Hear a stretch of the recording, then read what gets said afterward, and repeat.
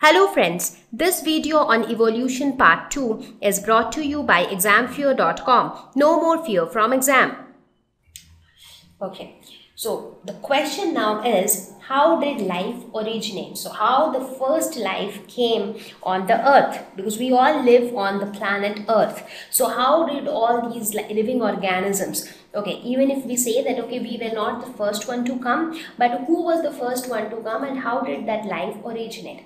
Now even before we talk about how life originated we should also know about how the earth came into being. When was the earth created?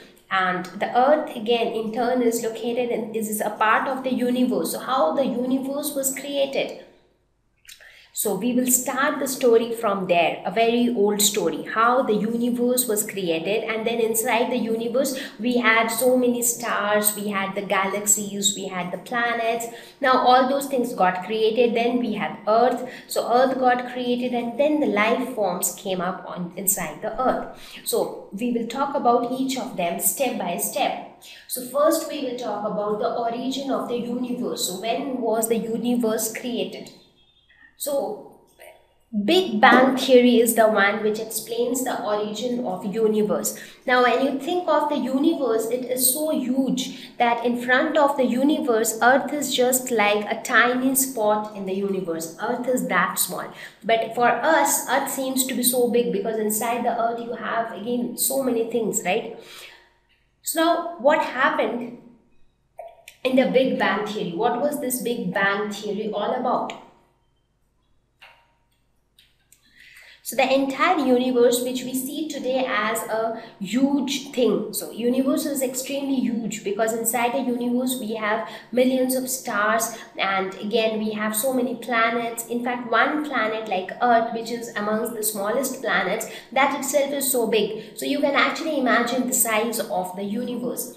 But actually this huge universe was once an infinitely hot and dense and infinitesimally small entity. So it was like a dense but a very very small or a very very tiny ball kind of a thing.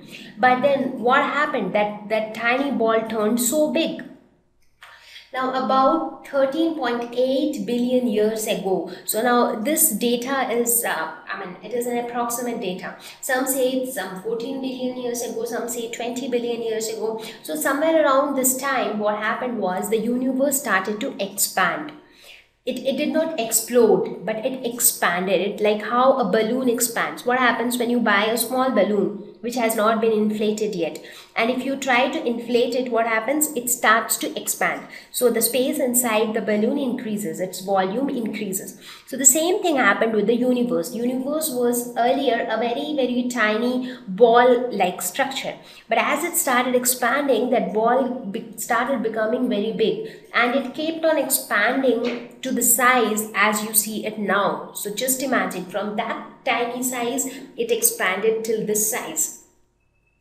And what happened as the expansion began? Now earlier it was like a very small ball with a lot of heat inside it and that is why it had it was infinitely hot and dense. So the temperature was extremely high inside that small ball.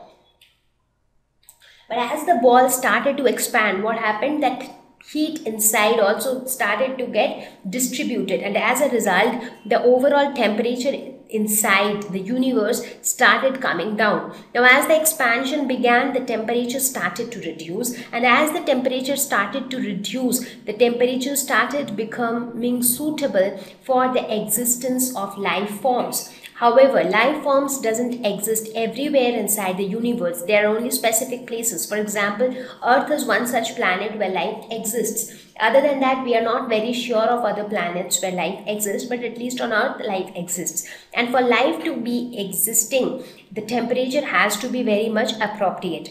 Now, initially, when the in universe was so much hot, it, it was impossible for life to exist. But as it expanded, gradually the temperature started to come down. And then the this small ball, which was expanding and became so big, it enclosed several stars, galaxies, planets, and there were life forms in, inside these planets. So it got bigger as it expanded, it got bigger and it also got cooler.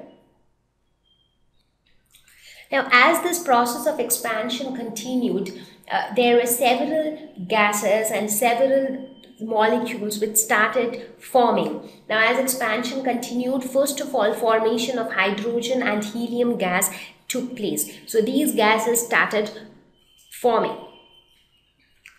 Then gradually galaxies were formed. Now how were the galaxies formed? These gases which were getting formed, they started to condense under the gravitational attraction and as a result, this condensation of gases gave rise to the formation of galaxies and that is how galaxies were formed. So what are galaxies? Galaxies are nothing but a collection of stars. Too many stars together form the galaxies. Now, when was the formation Earth had taken place? So, Earth was formed around 4.5 billion years back. So, 4.5 billion years back.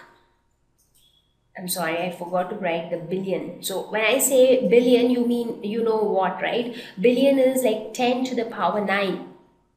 So, around 4.5 billion years back earth was formed. And where was earth located? Earth was located in the milky way galaxy. So milky way galaxy consisted of the solar system. So which we all study since our junior classes. In the solar system you have the nine planets and you have the sun as the star. So that, that's about the solar system. And the solar system is also located in the milky way galaxy so Earth was formed around 4.5 billion years back and now we have to see that how different life forms were formed on Earth. So here you can see in this picture, you can actually see that initially when the universe had not expanded completely, it was very small, tiny, but it had a lot of heat within it. So it was extremely hot and dense. But gradually as it started to expand, as you can see the expansion here, what happened?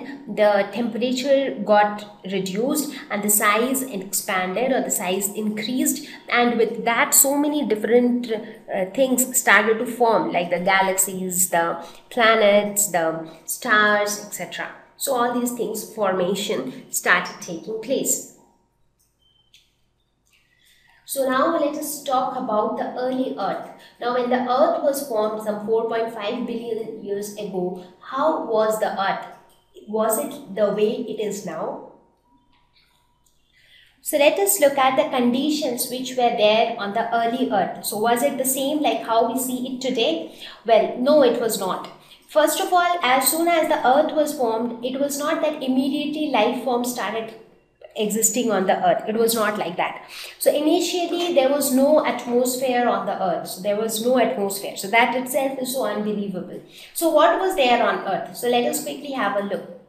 As I said, earth was formed approximately 4.5 billion years back, a long time there was no atmosphere at that time so today we have atmosphere that too which is divided into specific layers like troposphere stratosphere mesosphere exosphere and so on so one layer you have all the ions again one layer is the where where cloud formation etc take place. So full uh, the entire atmosphere and that too into distinct layers is present today. But that time there was no atmosphere at all.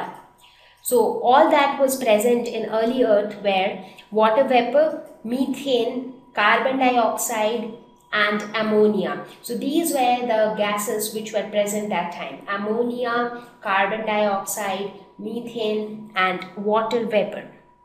Now all these were released from the molten mass which covered the earth's surface. So the earth's surface was all covered by these gases and water vapor.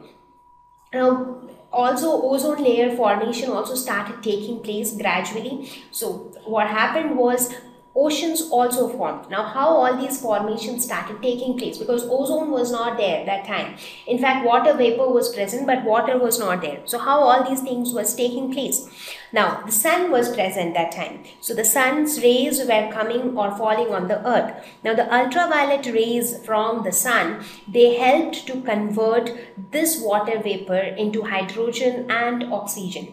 Now, hydrogen being lighter than oxygen, it escaped, whereas the oxygen was used to, you, oxygen combined with all these like carbon dioxide or the ammonia, the methane and the ammonia and it formed different gases like carbon dioxide and water. So all these were formed.